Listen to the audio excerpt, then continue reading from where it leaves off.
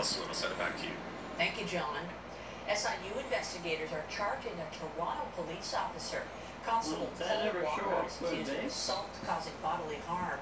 It's for an incident that happened on December 13th of last year. That's when 57-year-old Bayashi Yang was arrested and released. He was later treated at hospital for a broken bone in his eye socket. Constable Walker will appear in court July 8th.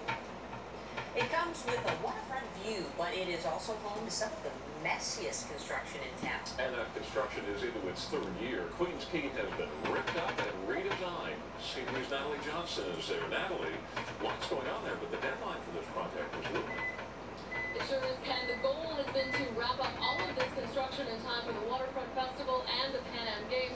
And although you may not know it to look at it right now, Waterfront Toronto officials say this will, in fact, all be cleared up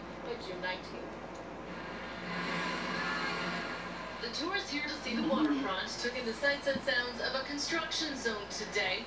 A maze of pylons along Queens Quay, a revitalization project that has meant digging and detours for three years now. A big hassle in a way. Dust, Yeah. noise, I mean, that hasn't never stopped. any construction. But that construction will in fact come to an end